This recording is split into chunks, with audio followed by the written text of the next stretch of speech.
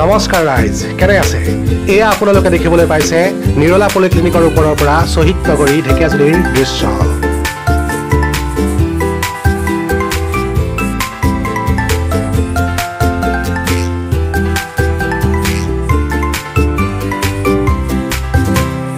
দৃশ্যবোৰ দেখি আপোনালোকে হয়তো ভাবিব পাৰে যে পলিক্লিনিক এখনৰ ওপৰ মহলৰ পৰা মই এয়া আপোনালোকক কি দেখুৱাই আছো।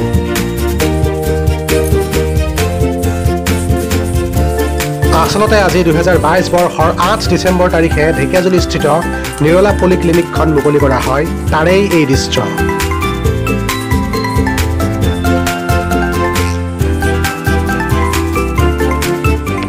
নিৰলা পলিক্লিনিকখন উদ্বোধন কৰিছিল দৈনিক অসম কাকতৰ প্ৰাক্তন সাংবাদিক বিশিষ্ট শিক্ষাবিদ তথা লেখক ৰমেশ চন্দ্ৰ বৰাচাৰে।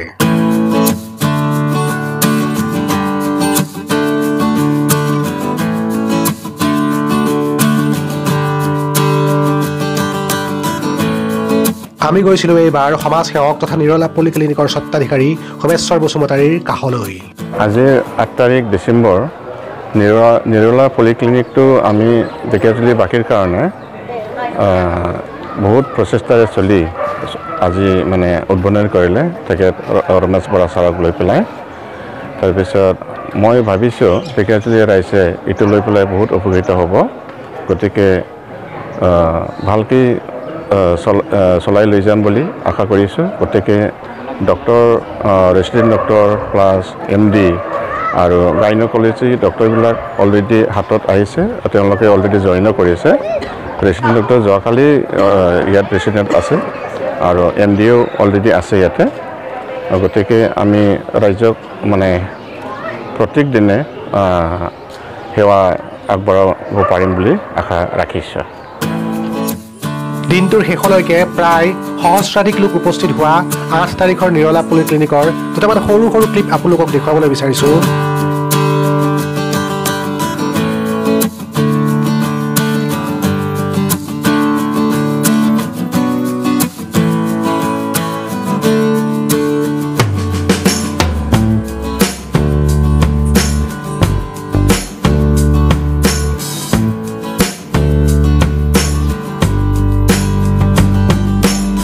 এটি বিশেষ অনুষ্ঠানৰ শুভাৰম্ভণিয়ে সকলোৰে মনত এটি বিশেষ সাজ বহুৱাই থৈ যায়। আৰু যদি সেই অনুষ্ঠানটি সেৱা কাৰ্যৰ লগত জড়িত হয় তেতিয়া তাত সুৰত সুৰগা চৰা বুলি ক'লেও ভুল নহয়। তাতে আহকচোন আমি বন্তি প্ৰজনৰে পলিক্লিনিকখন মুকলি কৰা বৰা ছাৰৰ কাষলৈ এপাক যাওঁ। নমস্কাৰ। আমাৰ ঢেকীয়াজুলিবাসীৰ কাৰণে এটা আনন্দৰ দিন যে আজি আমাৰ এখন নতুন চিকিৎসালয় ব্যক্তিগত খণ্ডৰ হ'ল নিৰলা পলিক্লিনিক যিটো অভাৱ আমি অনুভৱ কৰি আছিলোঁৱেই। গতিকে সুচিকিৎসাৰ অতি প্ৰয়োজন আৰু সুচিকিৎসকসকলে ইয়াত আহি পেলাই আমাক চিকিৎসা প্ৰদান কৰে বুলি আমাৰ যিগৰাকী ইয়াৰ উদ্যোক্তা ডক্টৰ সোমেশ্বৰ বসুমতাৰী তেখেতে কৈছে। গতিকে নিশ্চয় এই পলিক্লিনিকৰ দ্বাৰা আমাৰ বৃহত্তৰ অঞ্চলৰ ৰাইজ উপকৃত হ'ব আৰু আমি এইটোৱে উদ্বোধনী ভাষণত কৈছিলোঁ যাতে সেৱাৰ মনোভাৱেৰে যিহেতু আমাৰ অঞ্চলটোৰ ৰাইজ বহুতখিনি দৰিদ্ৰতাৰ সীমাৰেখাৰ তলত গতিকে সুচিকিৎসা পোৱাৰ ক্ষেত্ৰত যাতে তেওঁলোকৰ প্ৰতিও দৃষ্টি ৰাখে সেই অনুৰোধটো তেখেতে কৰিছোঁ আৰু তেখেতেও কৈছে মই সেই দিশবোৰ চাম যাতে কোনো দুখীয়া ৰোগীও যাতে ইয়াত অসুবিধাত সন্মুখীন নহয়। এইখিনি ক'বলগীয়া আৰু সেইকাৰণে আমি আশা ৰাখিছোঁ যে এটা সুন্দৰ পৰিৱেশত ইয়াত যি অনুষ্ঠানটো আজি গঢ় লৈ উঠিছে আমাৰ ঢেকীয়াজুলি এটা ডাঙৰ অভাৱ এই পূৰ কৰিব। ধন্যবাদ।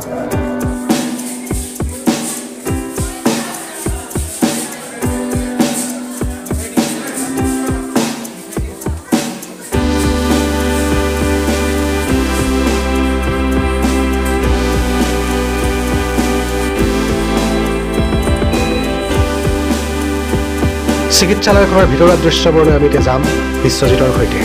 আজি আমাৰ নিৰালা পলিক্লিনিক অ'পেন হৈছে তো ইয়াতে কি কি ফেচিলিটি হ'ব? আহক আপোনাক মই দেখাই আছোঁ।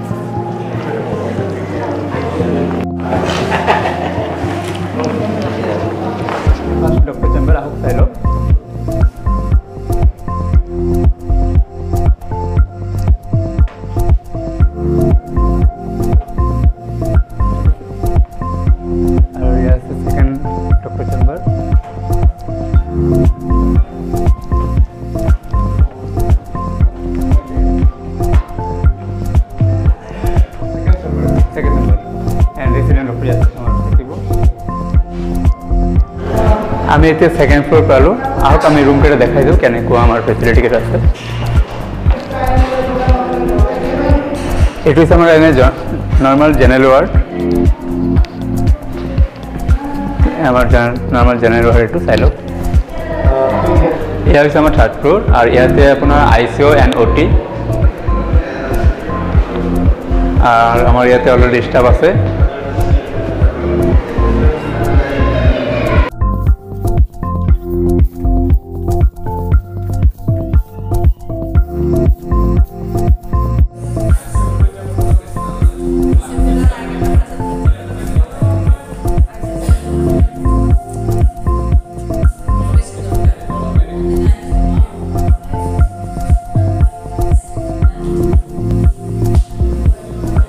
Casually that are new inaugurations for all the peoples respectively that's very important for Dekiajuli আমি বিচাৰোঁ এনেকুৱা এটা হস্পিটেল হওক আৰু with full facility that's very good for Dekiajuli নমস্কাৰ মই ডক্টৰ পাঞ্চালী দাস মেডিচিনৰ বিশেষজ্ঞ মই ইয়াতে আমি ইয়াতে নিৰলা পলিক্লিনিক ষ্টাৰ্ট কৰিছোঁ নতুনকৈ ঢেকীয়াজুলিত যাতে ঢেকীয়াজুলিৰ ৰাইজে চিকিৎসা ফালৰ পৰা অলপ সুবিধা পায়।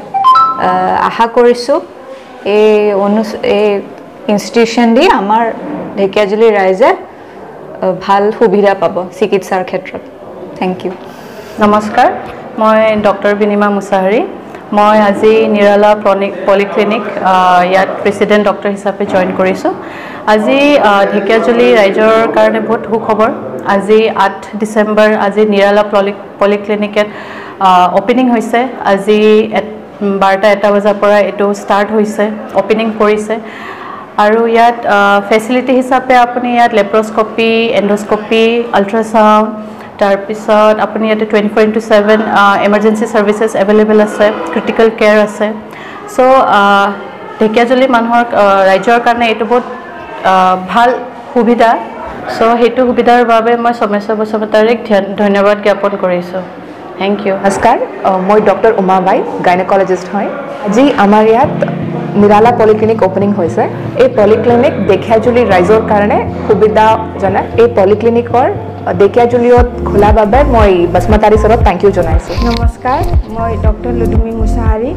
আজি আমাৰ আহ, ঢেকীয়াজুলি অঞ্চলত শংকৰদেৱ স্কুলৰ ওচৰত নিৰলা পলিক্লিনিকখন ইনগ্ৰেশ্যন হৈছে যাতে আমাৰ এই ইনগ্ৰেশ্যনটো ছাকচেছফুল হয় আৰু আমি মানুহক সেৱা কৰিবলৈ হেল্প কৰিবলৈ ছাকচেছ হওঁ।